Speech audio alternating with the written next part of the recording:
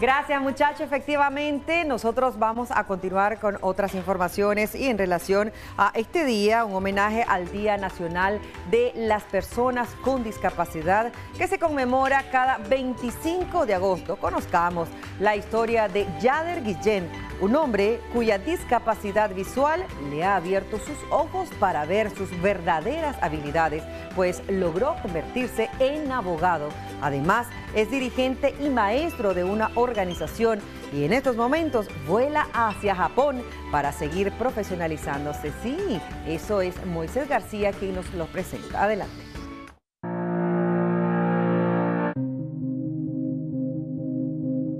Con esa energía, confianza y seguridad, es como Yader Guillén, un hombre con discapacidad visual nacido en Managua y de raíces ometepinas, le ha demostrado al mundo que hay pocos obstáculos que no logre superar. Vivió su niñez, adolescencia y parte de su juventud observando el mundo. Sin embargo, a los 18 años perdió su visión. Previo a que terminara mi primaria, adquirí la discapacidad. De hecho, mi discapacidad es hereditaria. ¿ya? Es congénita. Pero en su momento, pues me la habían tratado mi mamá y mi papá. Hicieron mucho sacrificio, digámoslo así, porque ellos alcanzaron o lograron tener un terreno aquí en Managua. Y para que a mí me pudieran operar y hacerme una cirugía o una, introducirme un lente en el globo ocular o en el ojo, para que yo no perdiera la vista.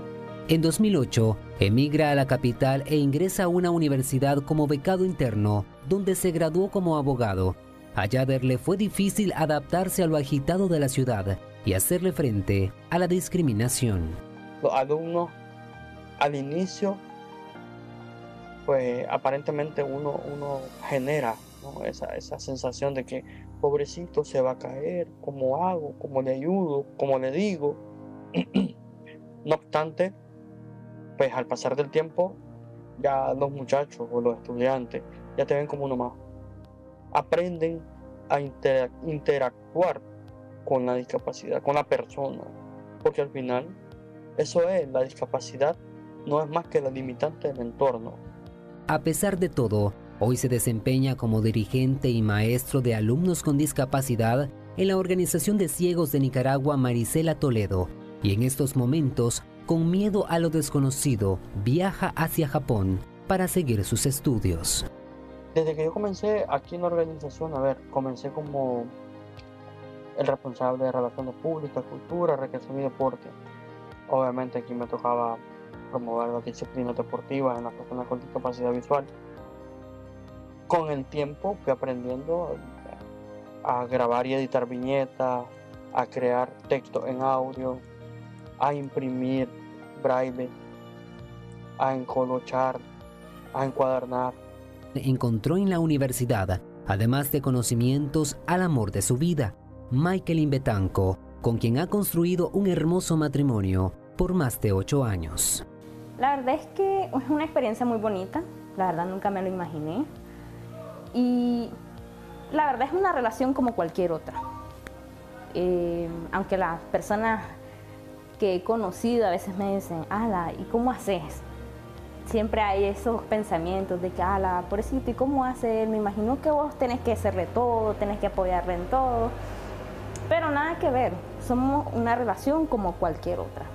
Y ha sido una experiencia muy bonita y es algo de lo que no me arrepiento. La verdad es que yo me siento muy orgullosa de él. Yo siento que él es un ejemplo a seguir porque a veces nosotros, las personas convencionales, no tenemos limitantes y decimos, ala, no voy a poder, qué sé yo. En cambio, él ha sido muy esforzado, se, ha dedicado bastante a, a dar lo mejor de sí y es algo muy bonito. Yo me siento muy orgullosa de él. Michaelin se ha convertido en su ayuda idónea, pues juntos vencen las dificultades de la vida y celebran los triunfos.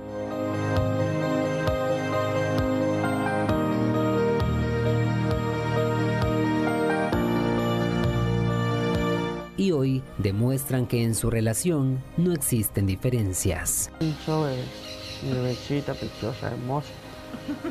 Tan lindo, mi amor. Con imágenes de Alderson Morazán, Moisés García, Acción 10.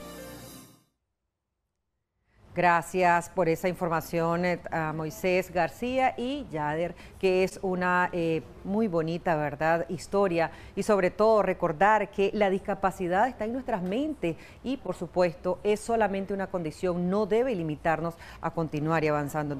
Esperamos, ¿verdad, Yader, que todos sus sueños que continúan, que se sigan prácticamente realizándose. Felicidades, un aplauso para vos, para tu familia y gracias por compartir esa historia de motivación. De inmediato, Jocelyn Medrano, tenemos más información.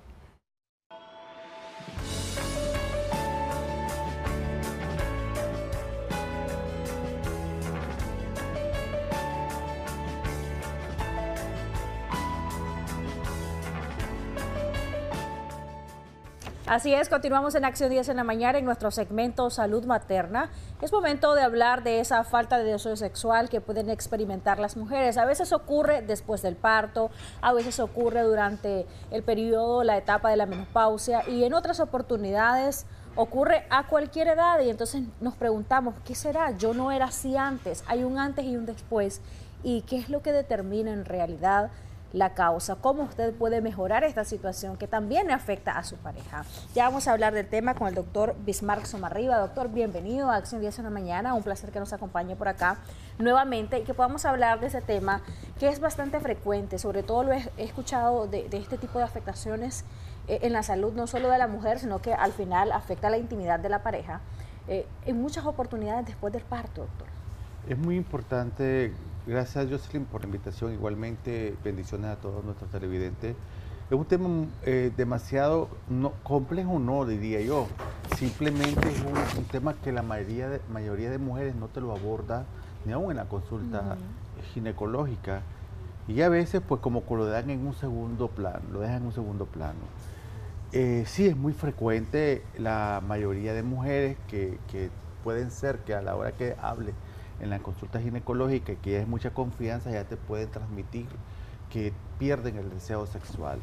Y muchas veces cuando ya la paciente ya ha tenido hijos, muchas veces después del parto, porque tal vez quedan con alguna situación, digamos que el parto no le fue bien, o que la cesárea tuvo mucho dolor, o, a la hora del parto como se terminó en cesárea, y al final queda ya un trauma desde el punto de vista mental, pero también es muy importante que se sepa que eh, la falta de deseo sexual a veces puede ser por enfermedad. Muchas veces una de las tantas, ellos pueden ser, por ejemplo, problemas de ovarios poliquísticos, algunos otros problemas de enfermedades, por ejemplo, de la tiroides, que también te conllevan al, no deseo sexual.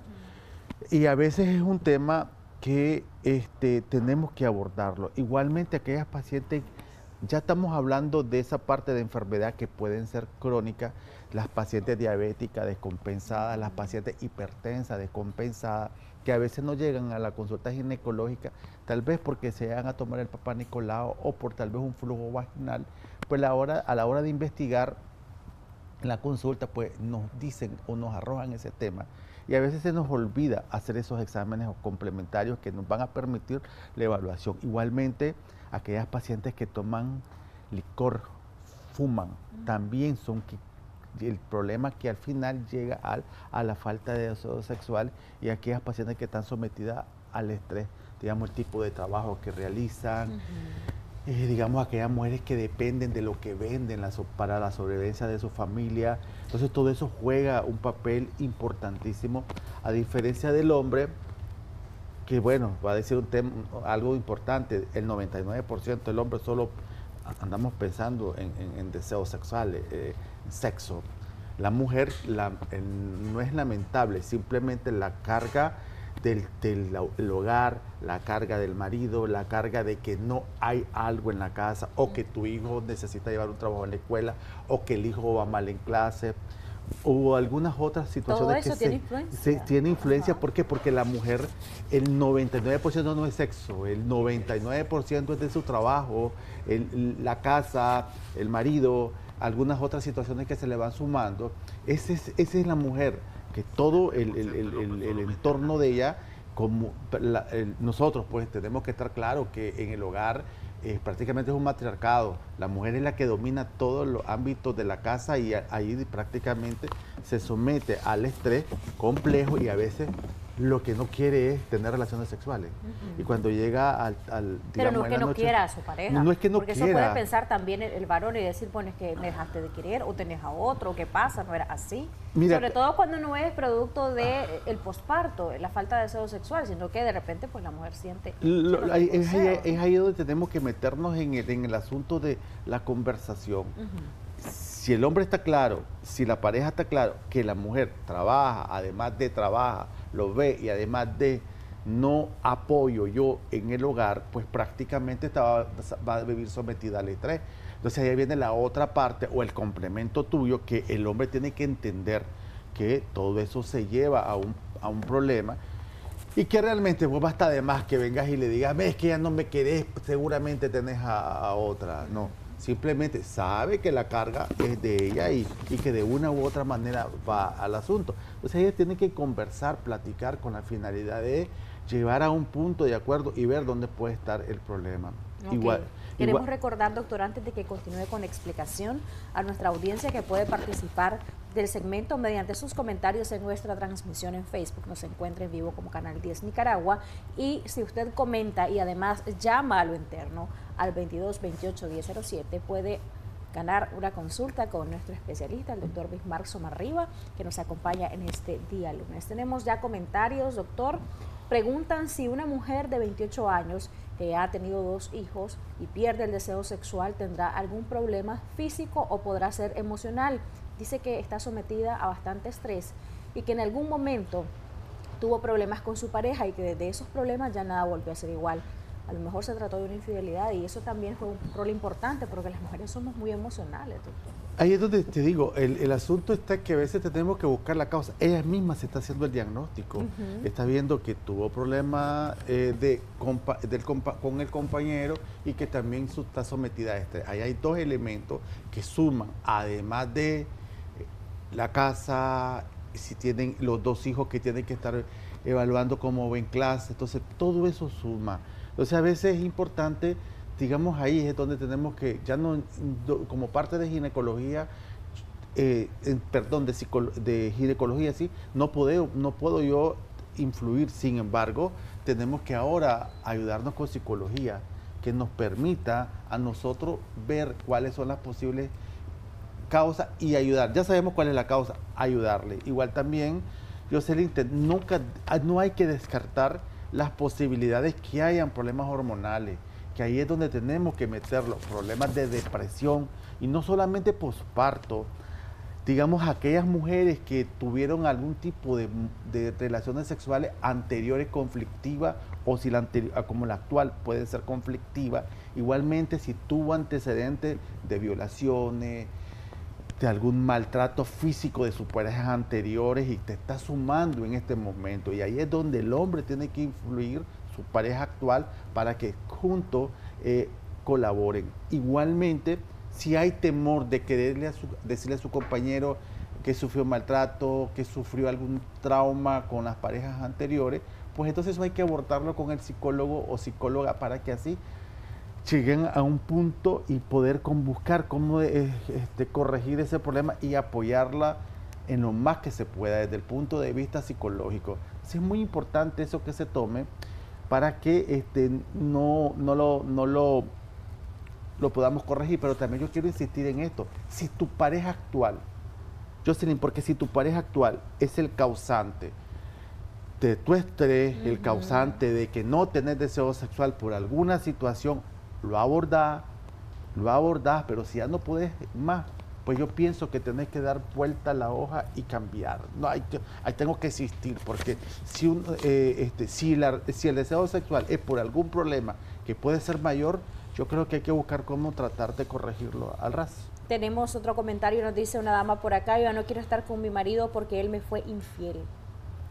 Como decía Paul, un gran, un gran, una gran situación que tenemos es que la mujer como decís, es, bien emocional. Yo no voy a venirte a decir, dale, perdonalo, evaluar. No, vos tenés que tomar en cuenta y, hacer una pesa y evaluar el, gran, digamos, la situación de la infidelidad versus tiempo de vida con él, los logros que has tenido con él.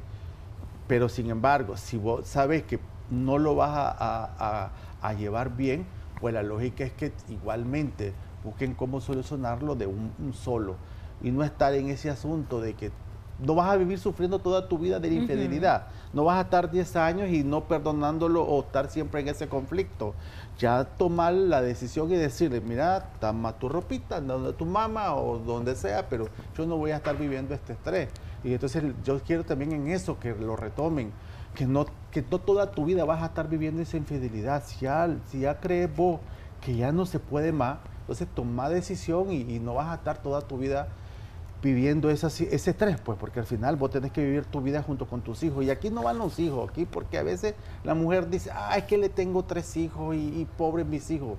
Pues platicarla con tus hijos, conversarla con tus hijos y tu decisión es tuya, pero también, también es tu emoción, es la que vale mucho en este momento. Tenemos abierta nuestra línea telefónica 22 28 1007 para que usted pueda llamar y hacer sus consultas y también poder ganar la consulta, la, la valoración con nuestro invitado. Buenos días, nos dice una amiga en la transmisión en Facebook. Hace tres meses me hicieron cesárea más ligaduras de trompas. Tengo 32 años. ¿Será normal que no me den deseos de tener intimidad con mi pareja o será por la ligadura de trompas que esto me perjudicó en cuanto a mi deseo sexual? Fíjate que hay, hay, un grupo de mujeres que pueden estar este, tal vez con esta situación de, de, la, de que pierden el deseo sexual después de la esterilización quirúrgica. Tal vez platicarle a tu ginecólogo, ver si da algún tipo de hormona. Muchas veces ayudamos dando algún tipo de anticonceptivo que permita volver a retomar la función ovárica. Muchas veces a la hora de ligar las trompas, algunos vasitos, algunas arterias que irrigan, nutren al ovario, se pueden ligar, entonces el ovario se vuelve un poco, así decía mi, maestra, un poco aragane.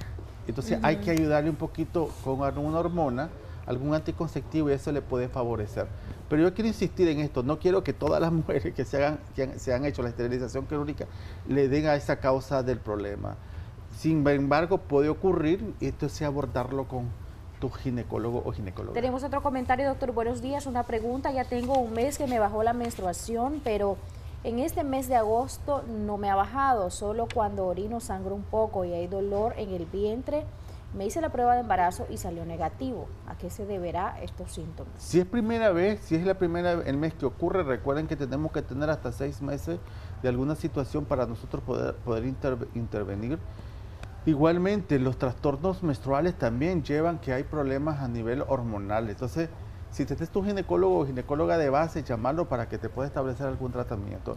También es importante, Jocelyn, eh, tomar en cuenta algunos medicamentos que puede estar tomando la paciente si es paciente crónica de hipertensión, si es paciente crónica de diabetes, si es problema crónica de tiroides y está tomando medicamentos del mismo o algún tipo a, los ansiolíticos, algún tipo de antidepresivos que tal vez los está tomando, también puede conllevar a la no falta de deseo sexual o falta de deseo sexual. ¿Los anticonceptivos también pueden conllevar a, a veces sí, hay algunos anticonceptivos que aumentan el líbido, pero la mayoría de ellos tienden a tener un poco. Tenemos más comentarios. Buenos días. ¿La menopausia trae consigo la falta de deseo sexual o no? Sí, la menopausia, ahí llega un punto, bueno, hay, hay, muchas mujeres que, que, más bien lo dicen que se le incrementa el deseo sexual. Hay otras que prácticamente no, no hay deseo. Sí puede ser un factor que como el nivel hormonal comienza a disminuir, también el apetito sexual disminuye. Otro comentario, buenos días. En mi caso, desde que tuve a mi hija, quien tiene dos años, me ha pasado esta situación, no hay deseo sexual y fue como que de manera drástica. Al principio me dolía un poco y era bastante molesto, además la falta de sueño, el cansancio durante la lactancia, también el trabajo han hecho que las relaciones sexuales las deje en un segundo plano. Mi esposo no me ha comprendido esa parte y piensa que le soy infiel. Me gustaría una consulta, pero no tengo cómo llamar al convencional. Vamos a tomar una captura de pantalla de su comentario y con todo gusto le vamos a contactar más tarde. Le vamos a pasar el dato al doctor Bismar Somarriba para que podamos orientarle, tanto a ella como a la pareja, doctor. Y vamos a entrar a esa parte que es importante.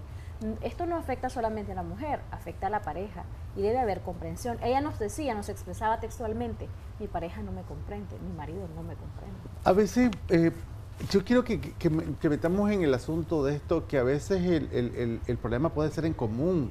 El problema, como yo decía, lamentablemente el hombre, pues su, su, desahogo puede ser una relación sexual, un, momento de sexo.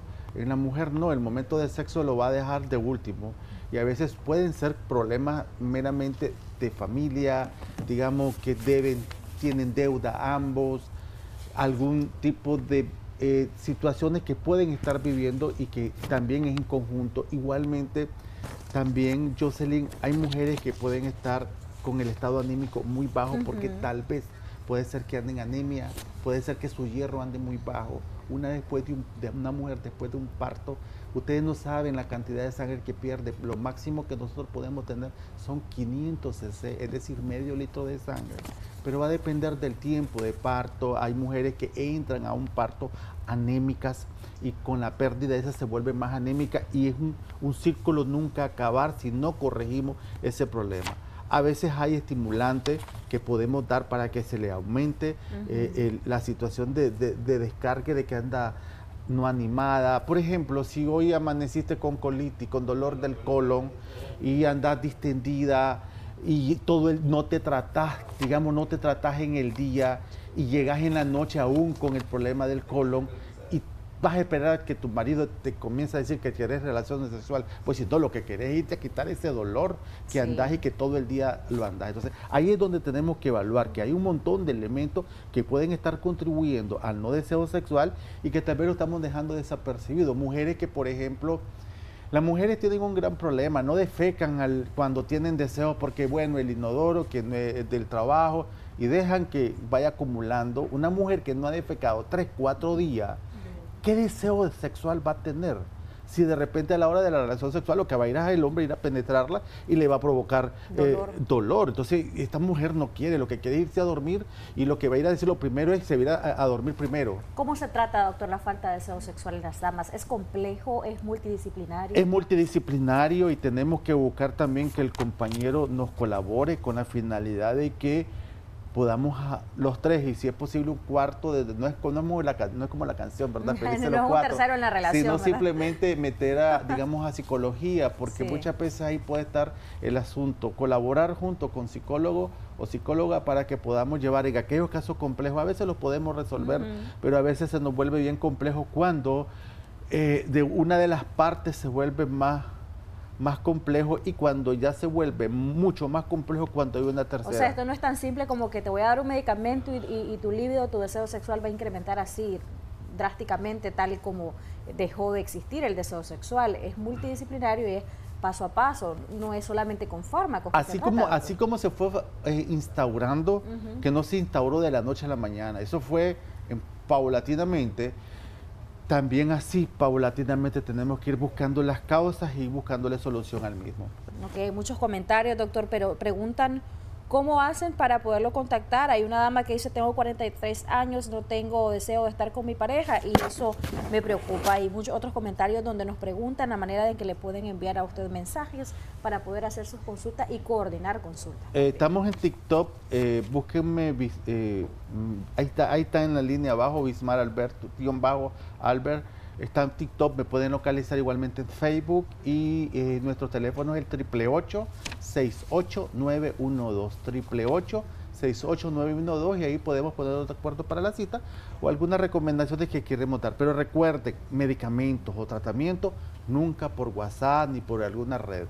A veces los medicamentos pueden ser la causa de que puede ser que más bien quisiera ayudarle y más bien me le aumenta el, problema. Así que eh, con mucho gusto la atenderemos, pero igualmente eh, este es un problema que a veces es en silencio, es un, problema que va en silencio. Y sí, hay mujeres que hasta fingen orgasmo y están con la pareja en contra incluso de su propio bienestar, porque hay dolor, hay sangrado después de la relación. Sí, entonces ahí es un, eh, un, un, un, problema en silencio que tenemos que irlo abordando poco a poco en tu consulta con el ginecólogo o ginecóloga y buscarle solución al mismo.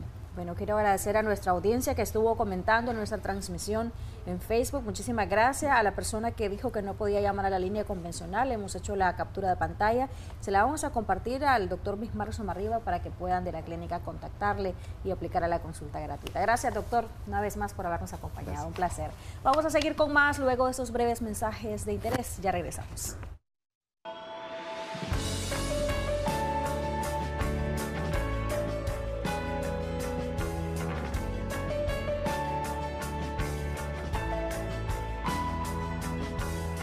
Así es, Xochitl, y es que en nuestro segmento Lo Sabías, Christopher Guevara, de la mano de un especialista, nos comenta más a detalle qué es el dengue y qué medidas tomar para prevenirlo. Adelante.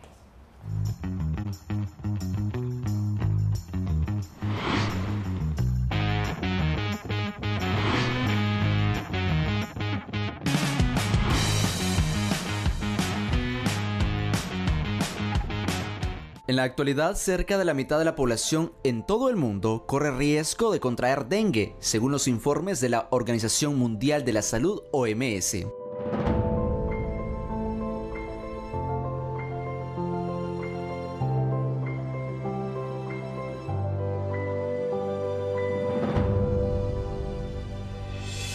Trata de una enfermedad febril transmitida por la picadura de mosquitos infectados y cuyos síntomas pueden comenzar de 4 a 10 días después. La fiebre causada por el dengue puede llegar a superar los 40 grados Celsius, Además, se presentan dolores de cabeza y musculares, náuseas, vómitos y sarpullido. Aunque generalmente las personas enfermas se recuperan en aproximadamente una semana, algunos casos podrían complicarse presentando dificultad para respirar y sangre en la nariz hasta desencadenar en la muerte. El dengue es una enfermedad transmisible por vector.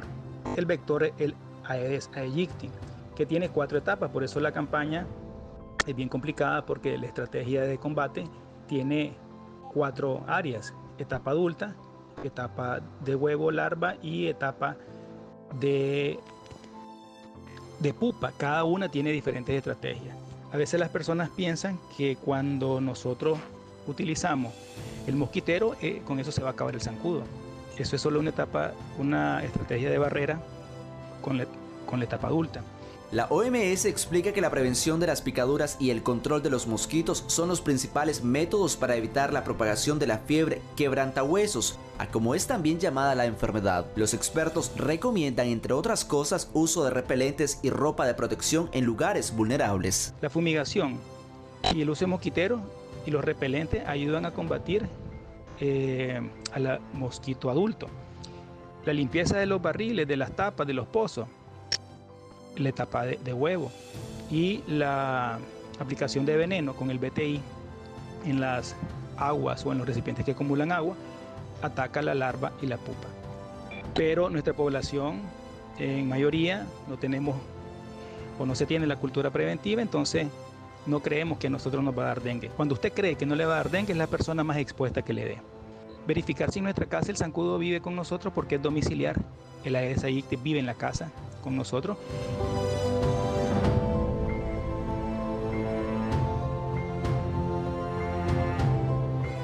No hay un tratamiento específico contra la enfermedad, por lo que cerciorarse de la limpieza de superficies y objetos que almacenen agua estancada es vital para reducir el riesgo de infección. Christopher Guevara, Acción 10.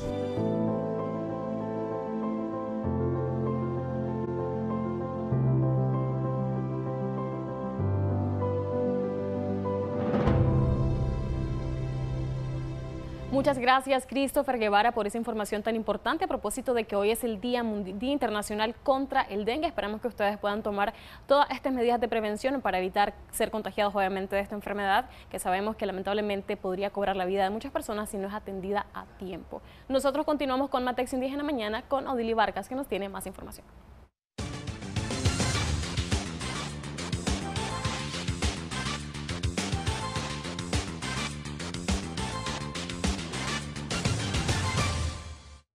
Así es, Anduriña, amigos televidentes, prepárense porque traemos una bonita entrevista, una entrevista motivadora y decir, pues siempre nos, como nosotros, que el único límite es el que nosotros tenemos en nuestra mente. Esa es la única barrera. Y hoy, pues vamos a conversar con nuestros invitados, recordando también que este 25 de agosto se conmemoró el Día Nacional de las Personas con Discapacidad, siempre apuntando a esa sociedad más inclusiva, más equitativa. Está con nosotros por ello de Fundación Teletón el doctor Orlando Sevilla, él es director ejecutivo y también nos acompaña el licenciado Josué Morán Flores y su mamá, la señora Ivania Flores, para conversar de una bonita historia, una meta que sí se ha hecho realidad. Muy buenos días, gracias por acompañarnos. Yo quiero decir esto, ingresa el licenciado. Muchas gracias. Bueno, queremos enviarte este aplauso. Josué, muchísimas gracias. Él es licenciado en comunicación social y vamos a hablar ya de eso, de cómo pasó, cómo ocurrió, las dificultades.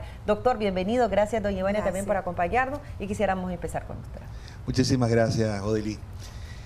Eh, es un día importante que eh, pasó, cayó en domingo y decidimos entonces estar hoy en la mañana y no dejar que pasara de largo.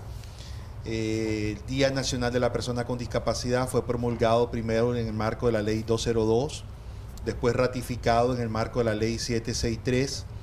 Es un día en que la Asamblea Nacional decidió se pudiera eh, motivar un poco a la reflexión sobre lo que hemos logrado avanzar en la inclusión de las personas con discapacidad, en el respeto de sus derechos, en la promoción de eh, ese enfoque de equiparación de oportunidades y que con una muy buena oportunidad todo es posible. Eh, realmente para nosotros como Fundación Teletón es muy importante eh, ratificar que todos los días tenemos que trabajar para poder eh, abrir esas oportunidades a las personas con discapacidad, a veces incluso, y tenemos que reflexionar un poquito, ¿verdad? Ese, ese día en específico debemos usarlo para la reflexión y pensar qué hemos logrado hacer. A veces incluso con muy buenas intenciones queremos ayudar y por no saberlo bien eh, nos convertimos en obstáculos. Entonces, eh, creemos que el 25 de agosto debe ser el día que nos permita reflexionar y decir, bueno, hasta hoy hemos, hemos logrado avanzar, qué hemos logrado en una sociedad en la cual ya hay jóvenes como Josué, que vamos a hablar un poquito, que fue niño símbolo del Teletón en el año 2006 y que hoy está con nosotros como licenciado en comunicación social, realmente un logro de todo el pueblo de Nicaragua, de Josué y su mamá, que han hecho un esfuerzo extraordinario ¿verdad? Y una forma de decirnos que cuando hay una sociedad que se abre y permite equipar oportunidades, sí se puede lograr cuando pensamos sobre todo en las capacidades y nos olvidamos un poquito de la DIS. De tal manera que eh, nosotros invitamos a todo el pueblo de Nicaragua a que reflexionemos un poquito más en ese rol que hemos jugado, a que reflexionemos en los derechos de las personas con discapacidad, en, si hemos sido factor de cambio o hemos sido factor obstaculizador sin quererlo a veces en la forma en que hemos eh, contribuido a esa equiparación de oportunidades, esa construcción de la sociedad cada vez más inclusiva y a pensar hacia adelante en que en esta Nicaragua en la que todos tenemos que tener la oportunidad de poder eh, mostrar nuestras capacidades y poder aportar según estas capacidades a la construcción de esa sociedad. Qué bonito, doctor. Y quisiéramos hablar eh, más que esos obstáculos, porque no quiere decir que no hay. Eso es lo que más eh, a veces se nos pone, ¿verdad? En la vida, a todos. Pero qué bonito a veces a través de esos obstáculos buscar las oportunidades que es lo que a veces nosotros decimos, no, es que no puedo, no, el no puedo existe, el no ya está. Hay que siempre ir por ese sí, por ese sí, por esa parte positiva. Doña Ivania, bienvenida, gracias por acompañarnos una vez más y quisiéramos también compartir con usted lo bonito que ha sido Sabemos que hay dificultades, pero también lo bonito que ha sido, en medio de esas dificultades, tener ahora este, este gran eh, esfuerzo hecho realidad. bueno, buenos días, gracias por la invitación.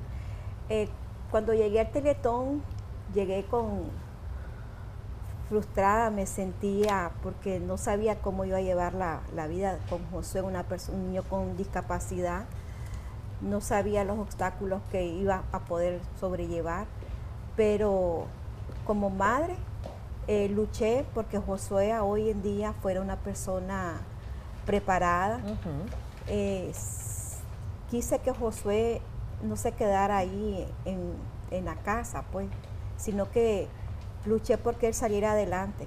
Y fue el amor de la madre de que me, me ayudó a ser fuerte y a luchar contra la sociedad por la discriminación a veces de la misma sociedad pero es lo que me empujó el amor de madre a convertirme en esa mujer fuerte, en esa mujer valiente, de decir, José tiene que prepararse y lo logramos. Gracias a Dios, ¿verdad? Porque ya José hoy en día pues culminó su carrera y ahora lo que esperamos, que la sociedad, que las empresas le abran oportunidades laborales a las personas con discapacidad, porque ellos también tienen deberes y derechos porque así lo, establece la ley. ¿Cuál fue el diagnóstico cuando usted se dio cuenta de José? ¿Cuál era el diagnóstico? Bueno, José nació con parálisis cerebral infantil y eh, tiene su motora fina dañada, tiene problemas psicomotor, eh, tiene la mitad casi de su cuerpo eh, dormido según el médico, pero con las terapias que veníamos realizando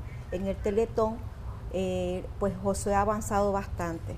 Correcto. Pero sí, este, no le aseguraban la vida a Josué, le daban horas de vida.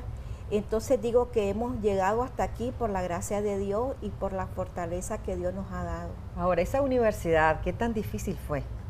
Durísima, porque igual habían obstáculos, había momentos que, que no podíamos y teníamos que echarnos para atrás, pero siempre había ángeles ahí que nos apoyaban económicamente. Y decía yo, bueno, tengo que seguir porque eso es lo que a él le gustaba. Me comentaba que usted pasaba todo el día en la universidad. Eh, sí, lo que pasa es que José tiene problemas para escribir. Sí. Entonces yo como mamá pues tenía que estar ahí a la par de él Ok. eh, para escribir. O sea, usted para egresó anotar. con él también. Yo también. eh, Prácticamente yo soy una licenciada también. Exactamente, Josué, qué bonito y felicidades por esa madre que Dios te, te- te obsequió y Muchas ahora gracias. contanos. Contanos eso bonito también de, de eh, que todas las dificultades que han pasado, pero que ahora lo que se siente es ya tener ese título en mano, ya egresado, o sea, egresado desde todo punto de vista, ya defendió, el muchacho va con todas, ¿verdad? que Sí, es satisfactorio. Primeramente quiero darle gracias a Dios y gracias a ustedes por permitirme estar aquí esta mañana. Es satisfactorio porque como lo decía mi mamá, a pesar de toda la lucha, a pesar del sacrificio que tuvimos que pasar, fueron cuatro años donde muchas veces no comíamos, donde muchas veces pasábamos cosas muy complicadas, pero yo quería esto, yo quería ser un licenciado en comunicación porque me gusta mucho la carrera y gracias a Dios se me dio la oportunidad y gracias al apoyo de, de mi mamá también. Aquí estoy ya como un licenciado en comunicación. No le niego que ha sido, hay sus momentos difíciles, pero uno siempre tiene que estar, que Dios siempre nos va a bendecir y que Dios nos va a dar la llave para encontrar la solución a las dificultades. ¿Cuál fue la clase que más se te dificultó, Josué? ¿En la carrera o en, En la carrera, en la carrera, ¿qué clase? ¿Qué eh, materia? Semiótica. a- a ver, Ah, sí, semiótica, de la semiótica. comunicación, o sea, todas las conceptualizaciones y Sí. eso. Es cierto, tiene, tiene un poquito, ¿verdad? Dificultad, Sí. un grado de dificultad, pero mira, lo pasaste. Mira, si vos podés, yo creo que toda esa cantidad de jóvenes que todavía no saben qué quieren hacer de su vida, este es un gran ejemplo. Miren qué ejemplo también de, de- de constancia, porque esto es de Sí. constancia, doctor. Ah, a mí se me pone chinita la piel saber de que, de que iban un día, que iban otro día, que iban otro día. Y, y, o sea, los dos merecen también esa licenciatura, doctor. Totalmente, totalmente. Y te voy a decir algo. Yo recuerdo cuando en el 2006 Josué este, era el niño símbolo del Teletón y promovió esa recaudación. Sí. Estuvo con mucho entusiasmo porque siempre ha sido eh, un, un chavalo con mucho entusiasmo. Y lo que yo digo entonces que con esto que nos están demostrando hoy, Josué nunca ha dejado de ser símbolo del Teletón porque Exacto. definitivamente se ratifica el día de hoy con esos resultados y cómo hemos logrado dar ese seguimiento. Imagínate, estamos hablando del 2006, o sea, son prácticamente 18 años, ¿verdad? Desde que eh, teníamos a Josué con esa imagen eh, promoviendo y diciendo "S- s- todos podemos y él pudo, o sea, no, no, no era puro, puro discurso, lo logró con hecho. Así Y yo felicitar a Doña Ivania. Doña Ivania es el vivo ejemplo de eh, la abnegación, el cariño de su madre. Nosotros hablábamos hace poco de la fase de duelo que se vive, que ella cuenta además Sí. cuando, cuando todos esperamos eh, tener, entre comillas, un niño que está en la norma, dicho Sí. así, y eh, por cosas de la vida no es así. Y entonces la gente piensa que se cayó el mundo y se derrumbó todo. Y, y empieza esa etapa de duelo y generalmente los matrimonios no sobreviven a eso porque empieza la fase de la culpabilidad y después la fase de, de- de la frustración y la La negación. crítica social. Totalmente. etcétera. Y entonces eh, es- se logra avanzar justamente cuando se vence el duelo, cuando la familia no solo acepta la discapacidad de su hijo, sino que cree en la capacidad de su hijo. Así es. Y eso es lo que aquí ha ocurrido. Doña Ivania creyó en la capacidad de Josué, apostó a la capacidad de Josué eh, y se involucró en abrir las puertas a Josué y estar al lado de él en todo momento. Y aquí tenemos los resultados. Pues. Eso es lo bonito. También por acá, como eh, eh, Canal 10, como Acción 10, nosotros realizamos diferentes tipos de, información y reportajes. Ahí recordaba Christopher Guevara, ¿verdad? Todos los reportajes y todo lo que se ha hecho. Y contanos, ¿cómo ha sido en, estos, en este tiempo que ya egresaste? ¿Has tenido algún tipo de prácticas? ¿Estás haciendo, desarrollando algo relacionado con la carrera? Sí, en este momento estoy haciendo prácticas en Radio Nicaragua sobre un programa deportivo es solamente por 30 minutos, pero me siento bien, ya que es mi primera experiencia en, oh. radio. Pero de eso se trata, de ir creciendo poco a poco, de ir que se nos den las oportunidades. Y por eso está la ley, eh, por eso está la ley también, para que a través de la ley se nos brinden oportunidades a las personas con discapacidad para poder aprovechar nuestro talento. Por eso también existe el FUDA, que son las fortalezas, debilidades, oportunidades y amenazas de las personas con discapacidad. Entonces, cada cada persona que nos contrate tiene que saber que es un FODA, para así poder saber cómo aprovechar las fortalezas, debilidades, oportunidades y amenazas de una persona con discapacidad. Narrame un pedacito de, algún partido de, deportivo, de algún, no sé, de, fútbol, de béisbol, un toquito, narrame. Bueno, el Barcelona derrotó dos goles por uno al... Ganó al Atlético de Bilbao, está en la segunda posición de la Liga Española, con goles de Lamin Yamal y Robert Lewandowski en, en el en la primera parte fue el gol de Lamin Yamal y en el segundo, en el segundo, en el segundo tiempo fue el gol de Robert Lewandowski. El Barcelona va con paso perfecto, tiene seis puntos en la Liga Española. Agárrate duro, Iván Zavala. ¡Ay, qué bueno, yo creo, a mí me emociona, no sé si a usted, a mí me emociona saber que eh, no hay ningún tipo de límites, que el límite es el cielo y que por supuesto la meta está ahí cumpliéndose, porque todavía faltan. Eh, eh, igual Josué tiene mucha creatividad, tiene muchos deseos de continuar especializándose, profesionalizándose. Gracias, doña Ivania, gracias. porque nos viene a compartir esa, esa motivación. Yo creo que es una motivación para toditito. Y, doctor, gracias también como Fundación Teletón porque es parte de lo, de lo que ustedes crean, de lo que ustedes también apoyan a la familia hacia. Y yo nos felicito, nos felicito a todos porque todos somos Teletón. Y aquí, en especial, en este canal, en este medio, se ha apostado mucho a eso, a la capacidad de los niños, a la capacidad de los, adolescentes, de los jóvenes, y aquí están los resultados.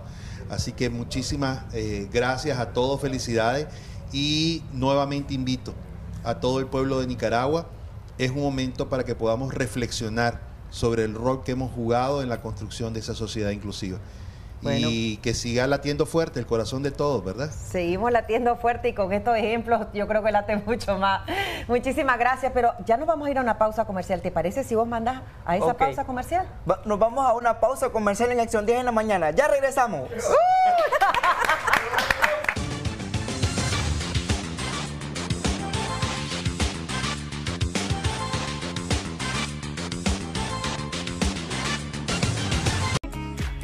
Bueno, Alejo, ¿no tenés ganas como de apampachar? ¿Cómo? De apampachar, sí, de tomar en tus manos un sándwich hecho con el suavecito pan bimbo, apampacharlo y comértelo. Déjame decirte que eso suena increíble. y se siente mejor, así que ya te lo voy a dar a probar. Vení para acá. Porque yo soy la mejor compañera. La mejor compañera, ¿verdad? Definitivamente para apampachar un buen sándwich de pan bimbo, ¿verdad? Y todos necesitan una compañera como yo, así que agarre su pancito, le da a pampachar, o sea, lo aplasta así, rico, rico, rico, rico, mire, y comienza a... Amigos, ahora los reto a que ustedes inviten a alguien a pampachar un suave y delicioso pan bimbo, ¿verdad?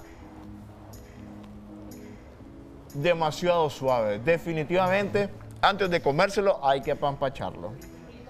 Mi único trabajo es invitarte a comer este pan bimbo, así que te tocamos el resto. Le voy a dejar un poquito a Odilio Vargas porque nos vamos con ellas ahorita. Mm.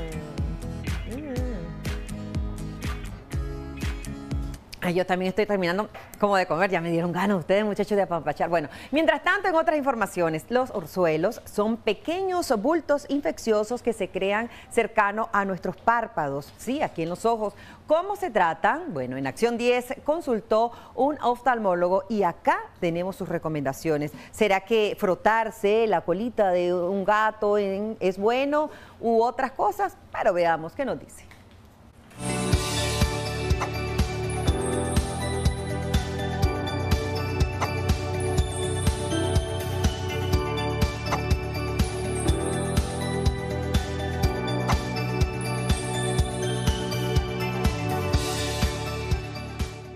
Un orzuelo es un bulto rojo y doloroso que se desarrolla cerca del borde del párpado. En la mayoría de los casos suelen contener pus. Estas infecciones bacterianas se crean tras la obstrucción de las glándulas sebáceas cercanas a la pestaña, explica el especialista en salud visual Abraham Delgado. En nuestros bordes palpebrales tenemos glándulas, se agregan grasita y esa grasita impide que la lágrima que baña nuestro ojo se evapore. La, la grasita esa le sirve para mantener el ojo húmedo y que no se evapore el contenido líquido de la, de la lágrima. Pero a veces, digamos, esas glandulitas se pueden infectar. La blefaritis es una causa. Hablábamos de que era una caspita en el borde de los párpados, pero esa caspita ya la puedo contaminar yo cuando yo con la uña me trato de quitar la costra, la caspa, me lastimo el conductito por donde vierte la glandulita, su grasita y un germen, generalmente estafilococo, utiliza esa puerta de entrada ya lastimada y me lo convierte en un cuadro infeccioso. Tocarse los ojos sin lavarse las manos, no quitarse el maquillaje antes de dormir o presentar blefaritis pueden ser factores de riesgo, explica el experto, al tiempo que recomienda cómo tratarlo. Todo proceso inflamatorio, si vos le pones paños de agua tibia, se mejora el síntoma de la inflamación. Si vos venís y te frotás y está caliente tu dedo y te lo pones, vas a sentir cierto alivio. Tampoco es que no sirva, ¿ah? pero no es que te vas a curar con eso, y mucho menos con algunos que dicen que la cola del gato te la pones y te vas a aliviar. No. Con el antibiótico eliminamos el cuadro infeccioso y podemos eliminar la inflamación y puede desaparecer y no dejar ninguna secuela. O se rompe espontáneamente y se drena el solo.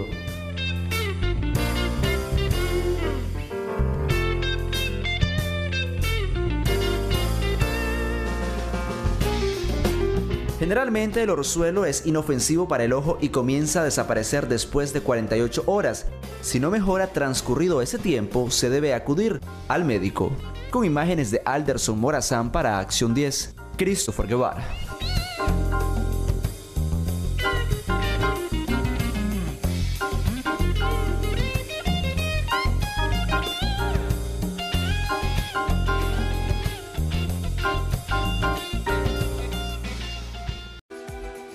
Bueno amigos televidentes, queremos hablar en Click Tecnológico, que es normal que con el paso del tiempo dejemos de hablar con ciertas personas y que su contacto en nuestro teléfono quede en el olvido.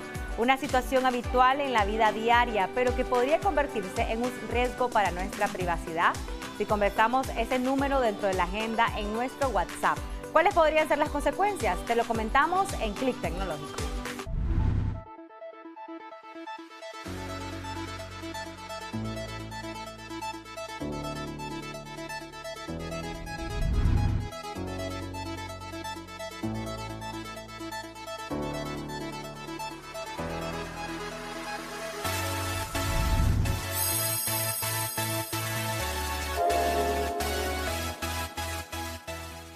WhatsApp se ha convertido en una herramienta indispensable para la comunicación digital diaria. Su versatilidad lo ha hecho esencial tanto para la vida personal como profesional, lo que explica la proliferación de contactos en agendas de cualquier usuario activo.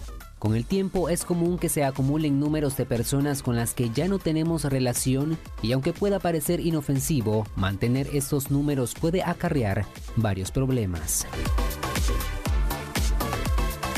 El riesgo principal de mantener contactos antiguos radica en el hecho de que los números de teléfono no son permanentes, Los proveedores de servicios móviles a menudo reciclan números inactivos, reasignándolos a nuevos usuarios cuando el propietario anterior los desactiva o deja de usarlos. Eso significa que un número de teléfono que alguna vez perteneció a un amigo o colega de trabajo ahora podría estar en manos de un completo extraño. El escenario más alarmante ocurre cuando un número reciclado sigue registrado en tu lista de contactos bajo el nombre de su antiguo propietario. Sin que lo sepas, podría estar compartiendo información personal y actualizaciones diarias con el desconocido. WhatsApp muestra la foto de perfil y el estado de tus contactos, permitiendo que cualquier persona en tu lista tenga acceso a estos datos. Si accidentalmente envías un mensaje o compartes contenido con este contacto, podrías estar poniendo en peligro tu seguridad. Además, el historial de conversaciones anteriores permanece intacto en tu dispositivo, lo que puede llevar a confusiones y posibles malos entendidos si decides retomar el contacto sin saber que el número ha cambiado de dueño. Estos riesgos se incrementan si consideramos la cantidad de información sensible que se maneja a diario en WhatsApp, desde ubicaciones hasta documentos de trabajo. Por esta razón, para mitigar estos riesgos, los expertos recomiendan realizar una limpieza periódica de la lista de contactos en WhatsApp y estar atentos a las notificaciones de la plataforma cuando uno de tus contactos cambie de número para eliminar el otro. Moisés García, Acción 10.